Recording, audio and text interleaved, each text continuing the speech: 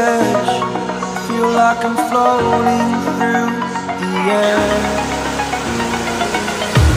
The pain I felt is paid Hi mga kals, Ah, nandito ako sa gym ng mga kals. Ah, titirahin ko mga kals, ah, legs workout mga kals. Samahan niyo ako mga kals.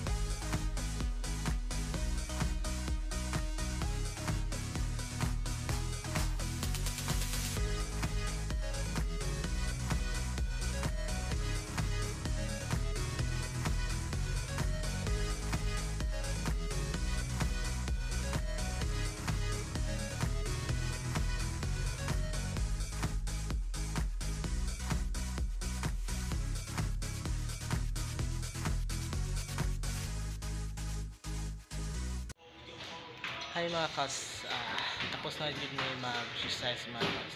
Pauwi na kami. Thank you sa lahat sa panood mga kals. Bye.